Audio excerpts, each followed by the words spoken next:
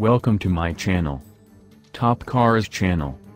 Please subscribe to get new updates.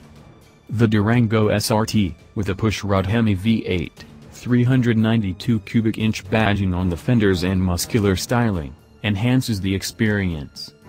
Sure, it's not nearly as cool as Mopar stalwarts like the 1969 Plymouth Roadrunner or the 1970 Dodge Daytona, but it's filled with the same sense of purpose. Dip into the throttle and listen to that 8-cylinder chorus erupt with a sound that's wholly unique. Not even the pushrod V8s from GM snarl and crack like the 6.4-liter Hemi. It's the same sort of sound you'll hear from countless Dodge, Chrysler and Plymouth products during Dream Cruise.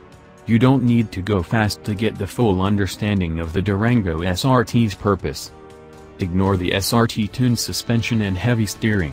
What you really want to do is open the SRT menu and adjust the custom settings. Set the engine and transmission in track mode and put everything else in the street setting. You'll get all the available power and straight line performance combined with a nice, cushy ride.